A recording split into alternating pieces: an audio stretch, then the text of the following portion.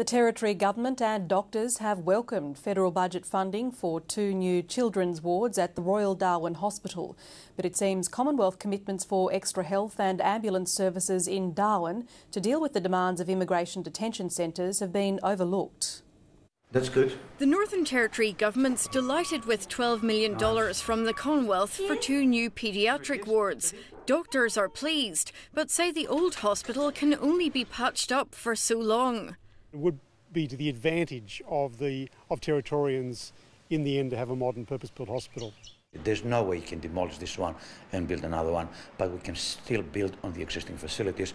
The Commonwealth is promising to maintain its territory spending on tackling Indigenous disadvantage, but isn't yet committing money for ambulances the Territory Government is asking for to service immigration detention centres.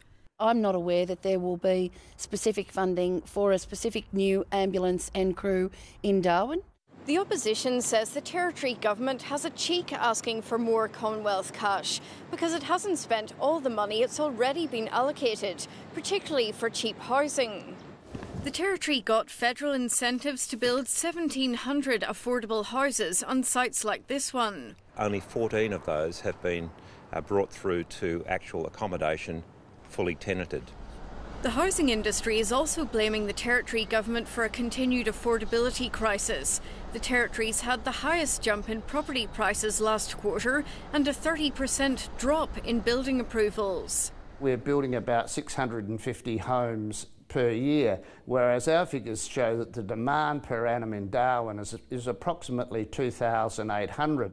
The problem we face now is not land release, it's actually the, res- the reluctance of the banks to release funds for people to actually build houses. The housing industry says both are to blame. The banks for encouraging people to borrow beyond their means, and the government for delaying land release. Jane Barton, ABC News.